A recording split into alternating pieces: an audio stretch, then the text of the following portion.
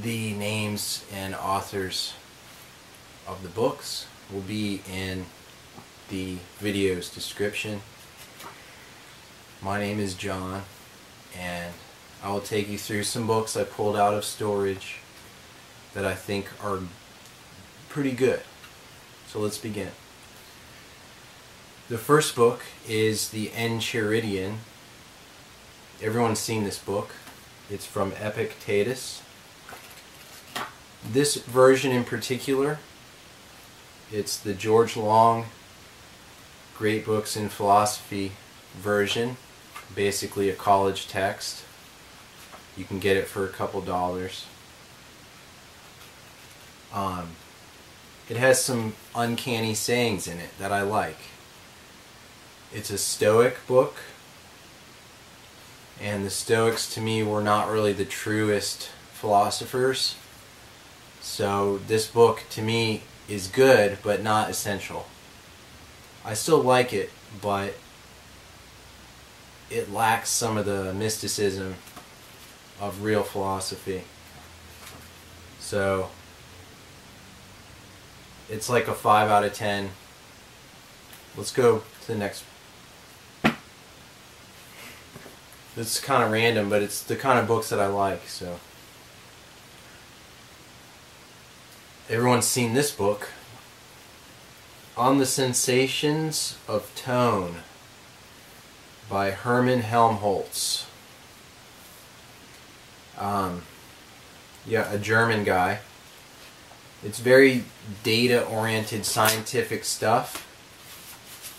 It's like something that would accompany cymatics studies or vibrational physics or kind of nerdy music theory type stuff on a more scientific level. Um, it's not an easy book to come by, and it's still going to cost you 10 bucks probably, even used. So, would I say pick it up? Um, yes and no. Maybe this one would be a good download book to get because personally I haven't really been since I bought it I haven't really been drawn into it to read it through. Um, even looking at it I can kind of get the idea for it and not be too excited to want to read it front to back. But it is very interesting. So I don't know. This one I would say is about a seven, seven and a half out of ten in my scale. So that's Hermann Helmholtz. Let's see. Here's a strange book. It's called The T'ai Hsuan Ching, the Hidden Classic a lost companion of the I Ching, reconstructed and translated by Derek Walters um, from Aquarian Press, which is not a good publisher. Um, so this is something that correlates to I Ching, but it's not the you know, there's a handful of books on I Ching that everyone gets. So this one's an alternative to that. Um, as far as it containing deeper things,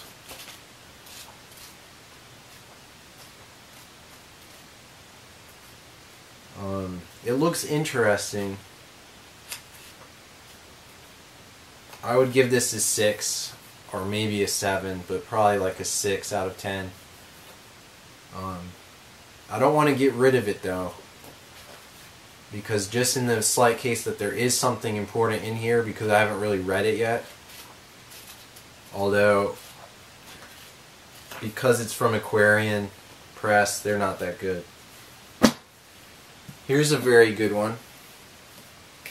This I would give a 10 out of 10 on first glance you might not think that and that's actually where I had put it less than a 10 but after reading it and some of the experiences that it brought me,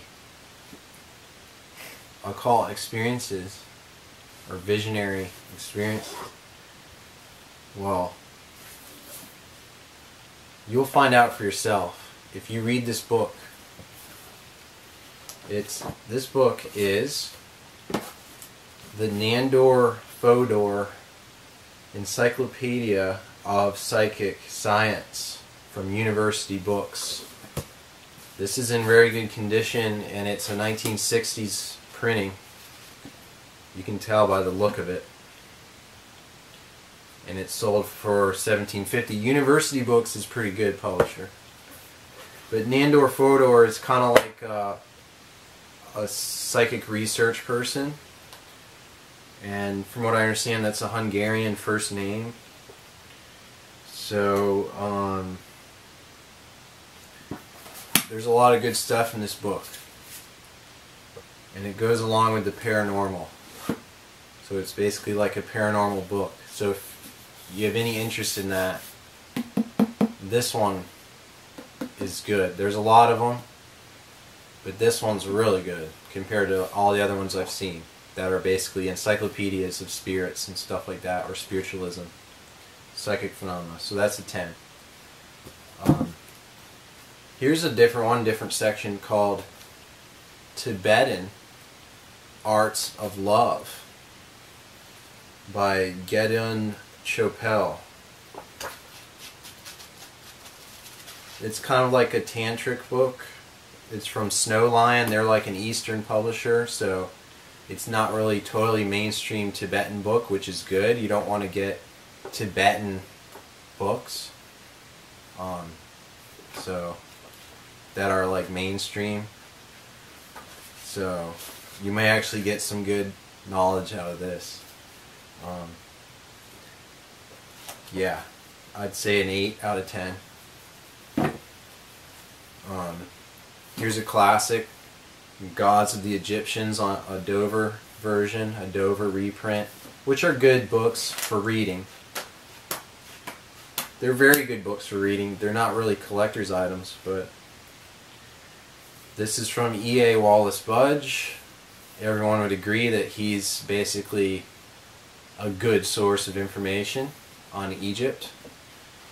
And I can't say that I've read this all the way through.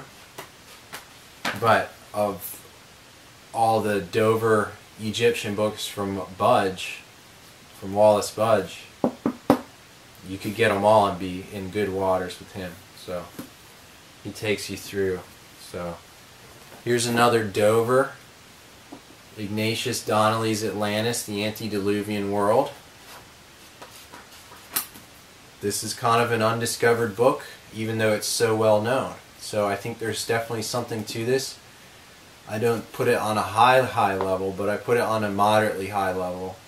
Ignatius Donnelly is an interesting character in as an author.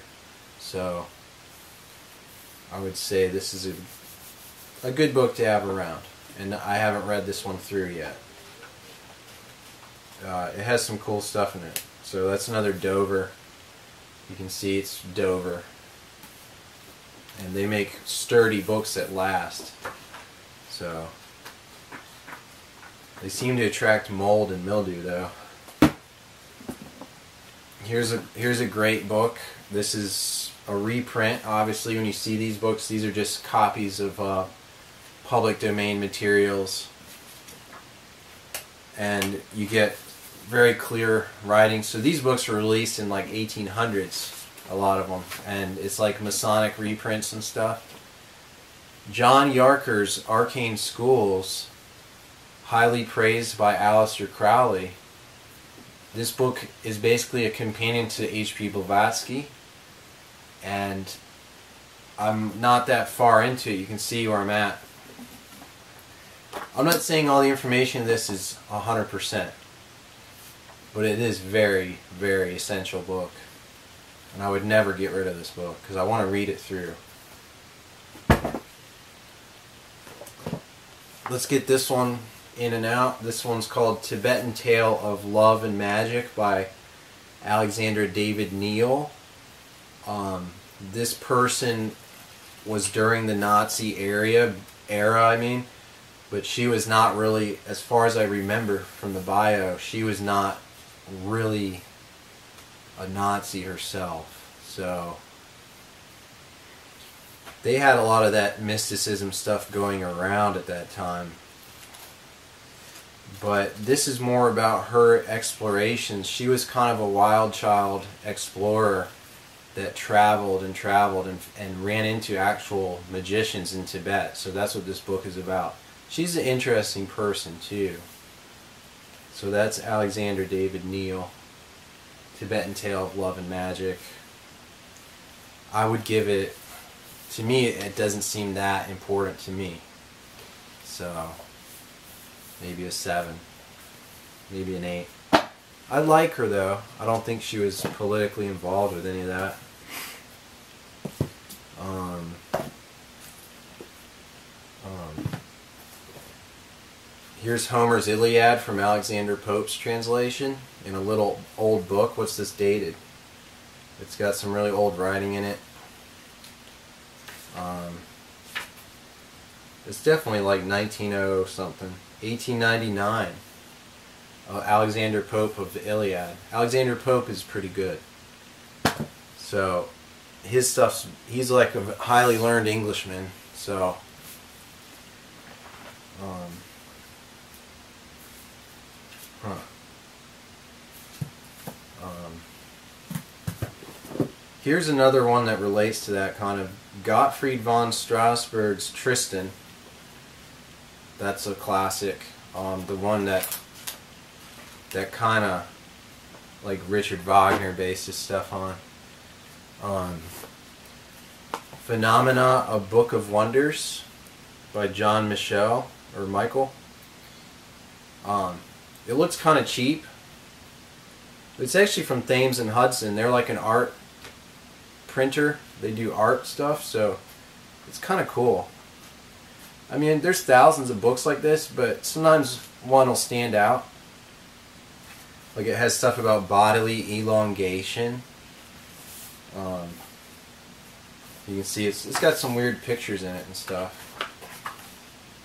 It's pretty cool. So I've set this one and saved it. I'd like to look through it, see if there's anything that piques my interest, any mysteries and things like that. So that's Phenomena, Book of Wonders. Um, yeah, this one, another Dover, and this one's almost like new. This is called Witchcraft, Magic, and Alchemy by Grillot de Givry. Um, this is a good book. It's not great. Um, it's old. It's kind of like superstitious type books that came out. Like there was a handful of them that came out around the 1800s and stuff like the one that wrote about vampires and stuff and he was a priest. You get a lot of that stuff so it's like theistical superstitious stuff. It's such a nice book but I mean I wouldn't want to do without this book really. Because it does on occasion have cool stuff. But I don't take it at face value per se. Um, I'd give it like a six out of ten.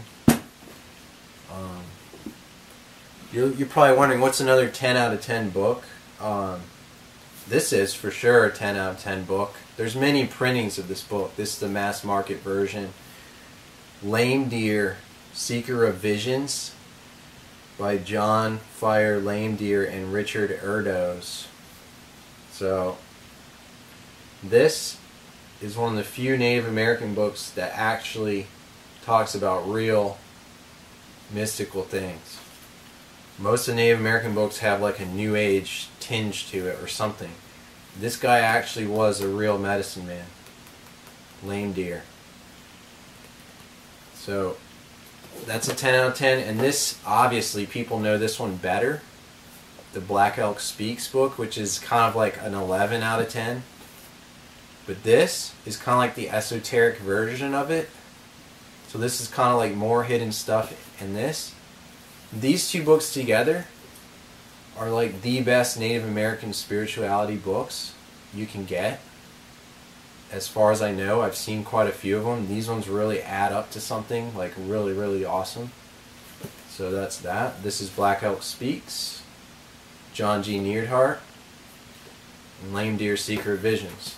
I'll put that in the description. I'm stacking them all up and it'll be in the descriptions. So after that, we can jump to something else.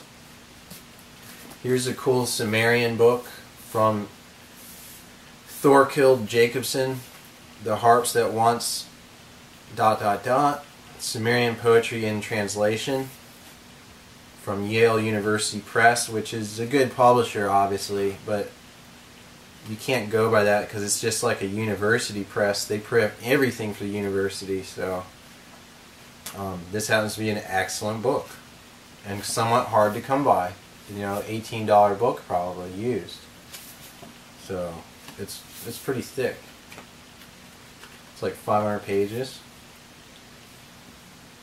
I'd say I'd give it a 9 out of 10. You can if you believe in Sumerian mythology and stuff, you might as well read what they wrote because you might believe in something that's not even in that book, you know. Um, the Tibetan Book of the Dead from Shambhala, publisher. This book will scare you. I mean, in my opinion, I went through some deep experiences with this book. I'll never forget. So this is the, the one to get. It's pretty cheap and easily to get. If you want to get into Tibetan Book of the Dead, this is the version this book to me is just it, I don't know what happened to me after it. Um, like I slept in the woods after this, up in the mountains, and I was just really. It's like I'd entered the abyss or something. I mean, it was like existence had no meaning whatsoever after this. I mean, I can't explain it. It was really deep. And it may be that they wanted it to come off like that. I'm not saying it's 100% reality because things have been written by people. So um, let's keep looking around here.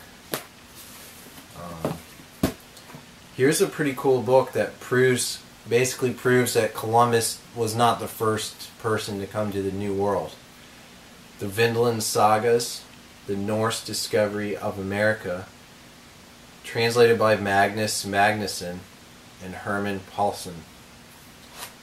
It's not very long, but this is really cool. And if that's like your ancestry, you'd want to get this and read it because it shows you that they're really good people and honest people, even though they had traitors amongst them. And it's it's a real book. It's real. I mean, it's so real. It's very real to me. So that's from Penguin Classics. They had they do all the literature, you know. That I would say is a 10. Although you read it once, you might not need to read it again. It's not exactly a reference book, you know. It's so short, you almost can memorize it. Here's um, The Lost World of Agharti, The Mystery of Vril Power, from some strange New Age or avant-garde publisher, Souvenir Press. Alec Maclellan. Now you would think, wow, this book's got to be great, right? And it was an English publisher. Okay. This book honestly kind of it doesn't totally suck, but it, it really is not that good.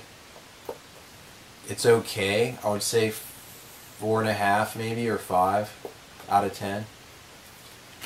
So they can put stuff like that together and make it sell, but I've definitely seen worse things than that. I wouldn't keep these really awful new age occult books around because they just have a bad vibe. So here's the number one book on the Bell Witch, The Infamous Bell Witch of Tennessee, Charles Edwin Price. Now this guy knows his stuff about the Bell Witch. The Bell Witch was a really strong ghost or entity in Tennessee that basically killed some people in their house. It's a very famous, well-known thing. I, most people know about it.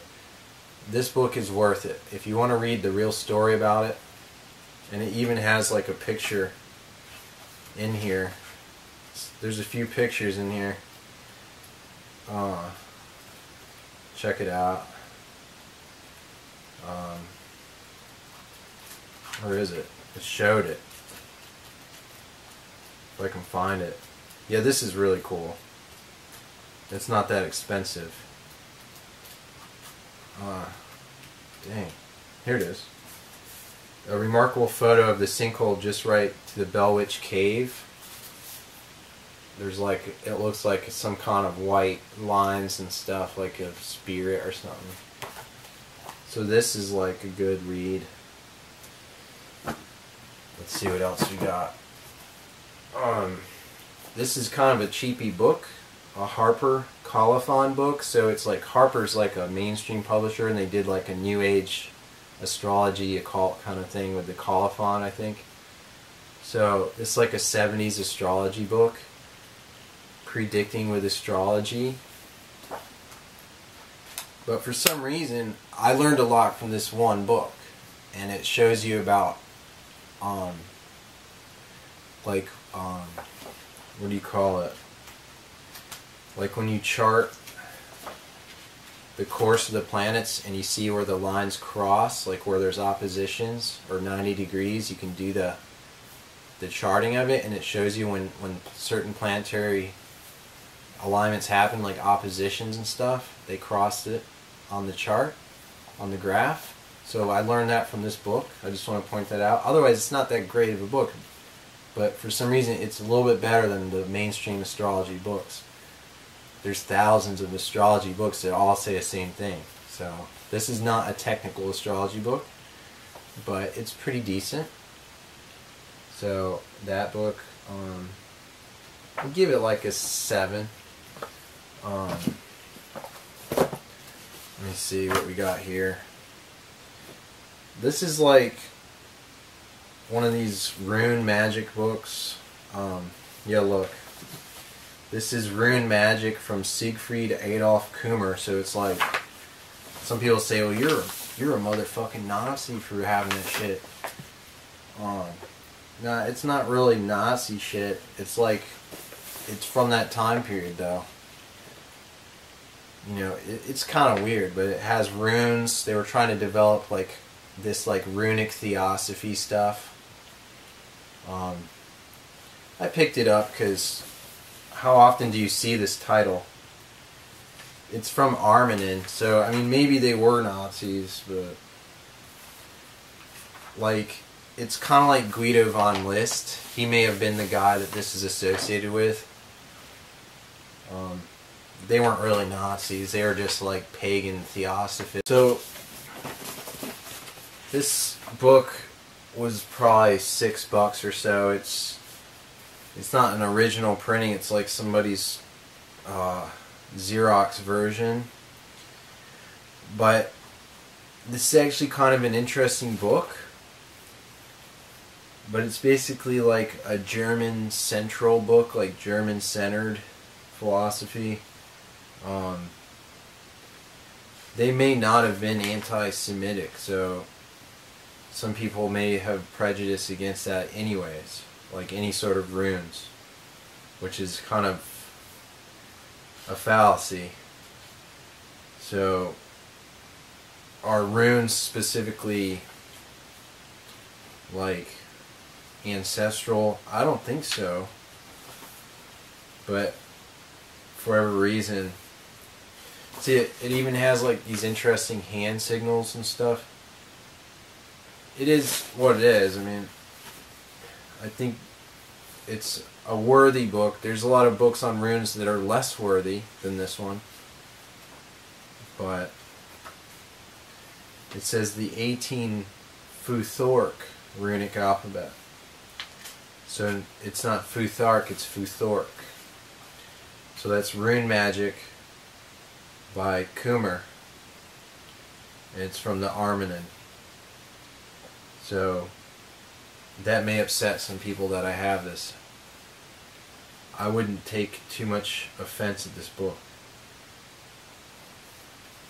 There's nowhere in it that says anything um, national. Well, it's nationalistic, I would say, but pagan. So, pretty interesting. And just because you have a book um, doesn't um, mean that you believe in it. You may have it for whatever reason, just for the knowledge sake. So, um, let's move off of that and look at the next one. Something different, but similar. This is a reprint of William Lilly, the astrologer, the English um, astrologer of 1600s. It's called Christian Astrology, three volumes in one. Look at that. This is the Cosmo reprint. And when I when I ordered this, I was excited, but when I opened it, it's an actual facsimile reprint, and the writing is in the Old English typeset. So the S's look like F's and things like that, and it's spelled different than modern English. It's not that difficult of a book to read. And it has a lot of examples of astrology from those times and how they had to use astrology and rely on it for things that we take for granted now. They used astrology, like to help locate missing animals and things. So that I would give a 10. That's a 10 book. Um, this I just threw in. It's I haven't read this. It's it's an old book. I thought it was a reprint. I don't know. Maybe it isn't. It's Jean Plaidy's The Spanish Inquisition.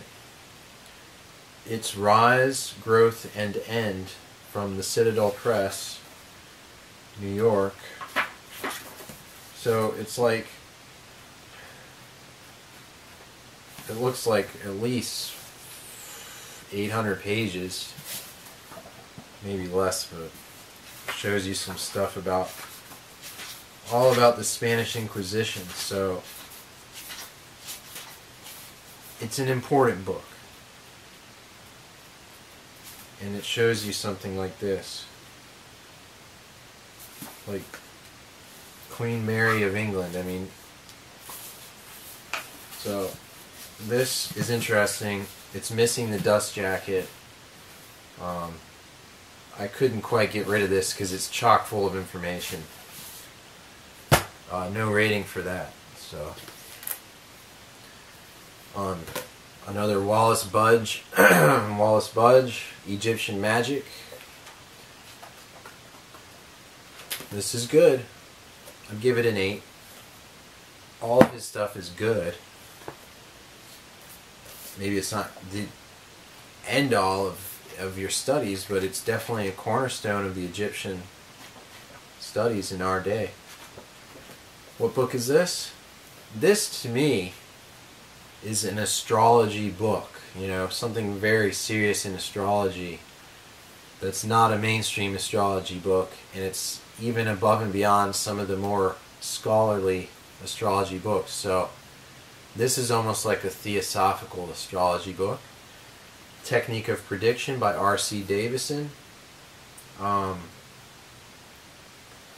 and it's this kind of hard to come by. Um, and it, it deals with some specific things uh, on prediction in astrology, like progressions and stuff like that, which I haven't quite mastered this particular thing. Don't know if I want to or not, but it is rather difficult. So I appreciate this book. Um, I think I'd be at a loss if I got rid of this book. Um, I'd give it a 7. Here's uh, Frances A. Yates, Giordano Bruno, and the Hermetic Tradition, uh, a university press. Uh, this one being University of Chicago Press. Um, Giordano Bruno, the philosopher who was burned at the stake. Um, the Hermetic philosopher. Um, as with a lot of uni university books that are on university presses, somehow they seem better than they usually end up being.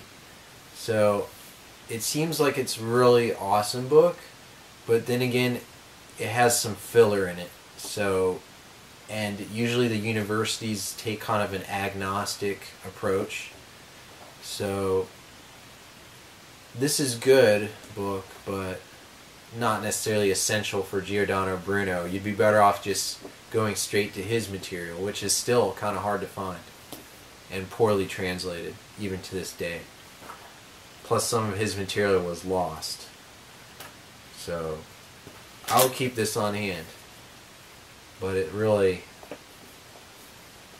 I'd give it maybe a 6, 7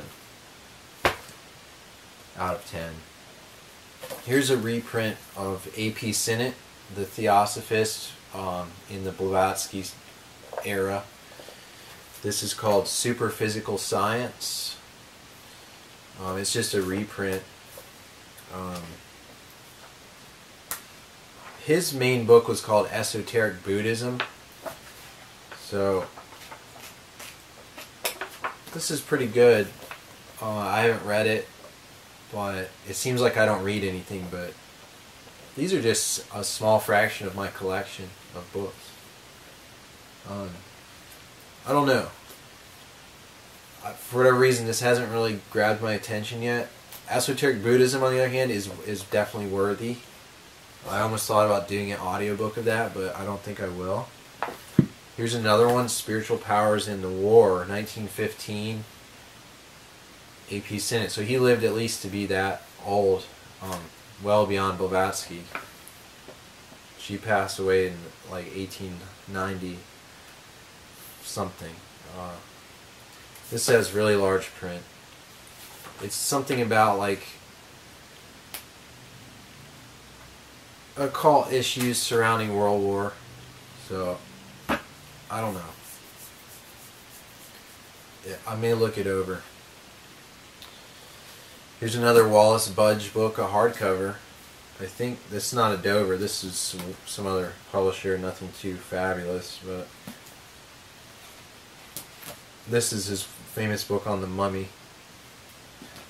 For Egyptology, a starting point is always with Wallis Budge. So that's another good one. Um, a Dover, when they're usually in really bad shape, the thing is with these books, the binding always lasts.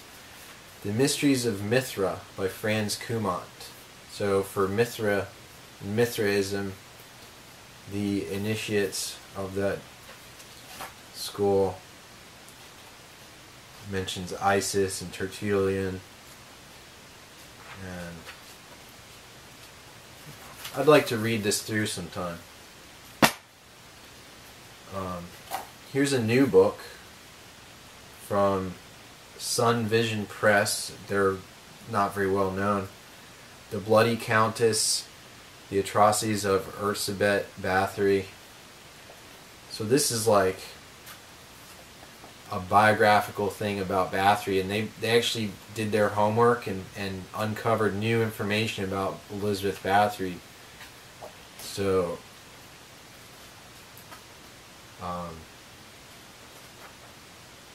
uh, it's it to me this book seems like kind of coveted as a source of information on Bathory that's not on any other book. So that's what gives books value is the information. If they have information, it can't be gotten easily. So uh, I haven't really read it, but I'm not a huge fan of the Countess. But it kind of goes along with metal. Just I don't know. No comment on that. It's not something I read that much.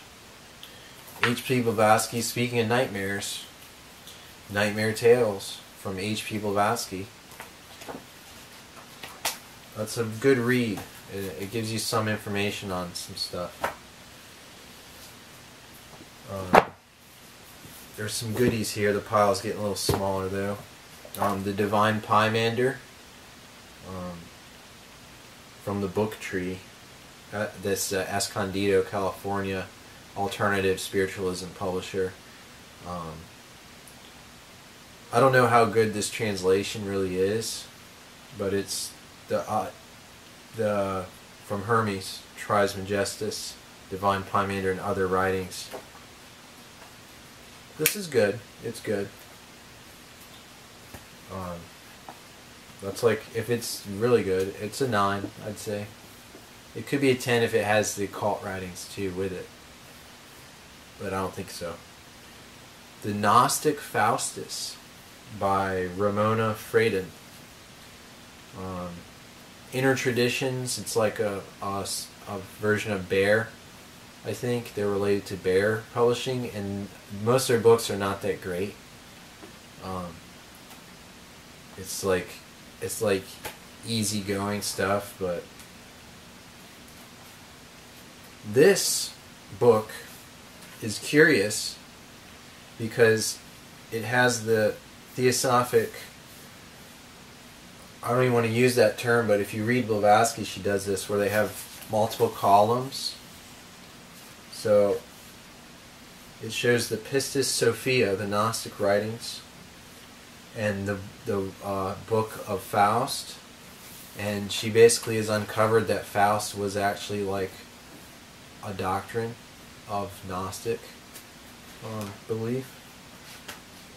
So whether or not she's 100% accurate, it doesn't matter because it's laid out so you can work it out yourself. So this is a nice book. It really is. I don't need to rate every book. here's a big bad boy. Now this is from Llewellyn. This is probably their best book Llewellyn's ever published. Three books of occult philosophy written by Agrippa, the famous Henry Cornelius Agrippa edited and annotated by Donald Tyson. So this gives you the whole thing. So there's a fourth book that's separate from this. But this is basically the meat and potatoes. And I don't eat meat, right? But it's still of Agrippa. The only other one is the natural philosophy ones from him. I'd say 80% of this is false. So you have to learn from something other than this.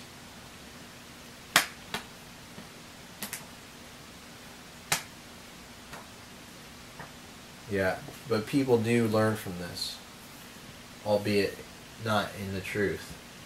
But I wouldn't get rid of it, but it's definitely not 100% factual. Um, I have the Secret Doctrine, slight two slightly different versions, but Volume 1, Volume 2. This is the correct versions. They're not edited at all, they're the Blavatsky versions from Theosophical University Press, the people in Pasadena that I kindly met when I was out there. So that's good. That's a 10 or 11. If it goes to 11. Here's an interesting one Sphinx and the Megaliths. John Ivimy. There's some book, but it has some peculiar stuff in it. It's not your typical rundown book. There's thousands of the same books out there. So when I find things that don't contain the same stuff as the rest of the books, I set them aside. And these are books I found interesting. So I haven't read it, and I may, who knows if I ever will, but just looking through it, you see there's something to it. It's not just the same information. So for some of these books, you may get a little bit of a piece of knowledge here and there. Others, like Blavatsky, it's more of a source book. Agrippa, is almost like it's not a source book to me. It's but some of the stuff in it is good as a starting point, and other stuff is just fiction. So this is a very nice book. The first novel ever written that we know of, The Golden Ass. And it's the Robert Graves translation. He's like an excellent writer, an Englishman. It's from Apuleius. And I read this through and it blew my freaking mind. And if you read this through, you would tell me this book did not blow your mind or what. So that's Farrar, Straus, and Giroux. The Golden Ass, the Yellow Dust Jacket. Awesome. Iamblichus's Exhortation to Philosophy, translated by Thomas Johnson, who was a Neoplatonist uh, American, I believe, from 1920. Um, from Phanes. Phanes is a decent publisher to get Neoplatonism and some magic type stuff. I had a few of their books, and they're well done books. Um, Um, this is not high up on my list. I'm glad that I acquired it at a cheap price because it's really not worth forty dollars. It's not really. I'd say it's a good ten dollar book, but you don't see it for that cheap. Um, this book's. It's not great. It really isn't. But they try to cover Iamblichus in it in a roundabout way. Yeah, it, it's a bit silly. I'll admit it. Um, here's another William Lilly, The Astrologer's Guide. It's kind of some weird printing of it. But it also has this version. It also has the aphorisms of Cardan. So and I think it has the considerations of um, Bonatus. So it's it's a good little compilation there. Astrologer's Guide by William Lilly. Um, so it has the Cardan and the Bonatus as appendix. So I'll give you the ISBNs of that. Excellent material, serious astrology, classical astrology. Um, this is interesting. Ayurveda, Science of Self Healing by Dr. Vasant Lad, Practical Guide. Um, he's an Indian, and he talks about Ayurveda. But you can see it has some cool stuff in it. It's not just your basic book. So it stayed in my collection. I got rid of hundreds of books you can't waste money if you're looking for knowledge. Buying books and selling books is a very um, good way to spend your time, and it's you'll never waste a penny doing it. Even if you end up throwing the book out, or don't do that. At least donate it or give it to someone. Everyone has to work on their own level. Here's a conspiracy book: Founding Fathers, Secret Societies. Um, this is on Destiny. And they don't really do books that I read a lot, but from Bob Hieronimus, PhD. So it's this one's actually decent. The other ones I don't like as much. There's not many books on this subject that I really care about. But this one is interesting. It's not great. I'd give it a 6. But that's not putting it down. Sir Thomas Heath, Aristarchus of Samos, the ancient Copernicus. This is on Dover again. It's pretty heady stuff in this one. There's quite a few of these ancient mathematics books from Dover. It's a bit much for me, but I do appreciate it, and it looks cool to have. They're cool collector's items. It's a seven dollar book, but somehow I bought it for nine fifty used. So it's cool. I haven't really looked at it. Here's one from what is it? One of these Paladin Press types of books here. It's not though. Close Quarter Combat with with Jeffrey Prather for U.S. Army Special Forces. So it shows you how you can like rip people into pieces. It's kind of fun. Well, the book anyway. Witchcraft in the Southwest. This is another university book. Or no, it's it's not. I thought it was. Yeah, University of Nebraska Press. By Marc Simmons. Spanish and Indian supernaturalism on the Rio Grande. And it has some pretty neat stories in it. And look, it shows sacred datura in there. When the Indians uh, did witchcraft against the priests and stuff, it, it has the accounts of that, like in Taos and stuff. The, you know. Moving along. What the heck? This is Soma Elixir, and there's a companion book by these guys called Sacred Soma Shamans. They're pretty much famous for their knowledge on uh, Amanita muscaria. Uh, I bought these from them. Um, I think it might be signed. No, they didn't sign it, but really awesome stuff. Very factual and highly respectable. 10 books here and very hard to get about visionary usage and proper shamanic usage of amanitas. So.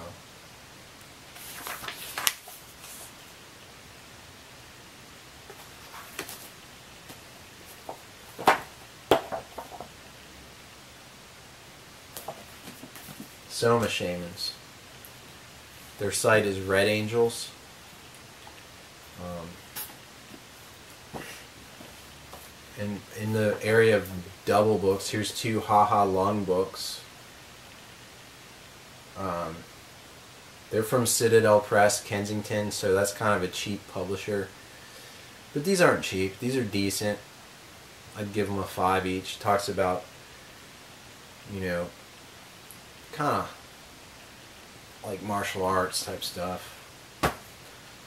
I got Hesiod here, Theogony. I got notes on the Bhagavad Gita from William Quan Judge of Theosophy. This is another 11 book right here. If you really think about the subjects in this, it takes you to another level. This book I put right here in my heart. This book I haven't really tackled yet. I tried it. this is two books though, it, or it's Beelzebub's Tales to his grandson from Gurdjieff, but this is a different version than you normally see. It's an old hardcover version. So it says all and everything first series. So this, and it's from Dutton, but this is all and everything was like the title for a number of works, I believe, and this is the first series in that series. So it's entitled. I mean, it's encrypted, kind of. I don't know why I said entitled, but yeah, this book's like encrypted. Gurdjieff's the real deal. Spiritual master. Um, strange, stupor, strange superstitions and magical practices. Really weird book from Fielding, William Fielding. I don't know. There's some weird stuff in this one, in particular. I mean, there's hundreds of books like this, but this one's weird. There's my copy of Faustus. So this is a Gnostic book, basically. It has occult knowledge in it. Tutankhamun. Another Wallis Budge book. See?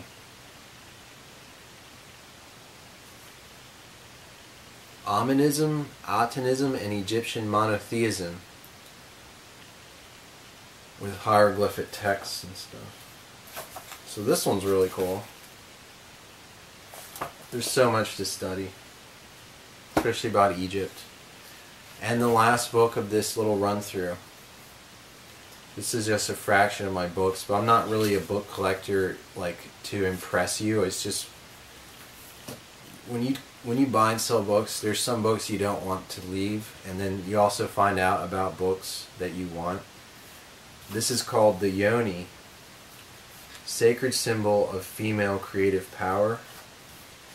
And so it's like it's, it's kind of a sexual book. So it's about like a vagina and stuff, but it's kind of spiritual about it. And this is from Inner Traditions. So they do a few books here and there I'll read, but overall I pass through that kind of material. So it shows some nudity in here, some like women's stuff going on. It even shows rocks. I can show you that at least. Rocks that look like vaginas.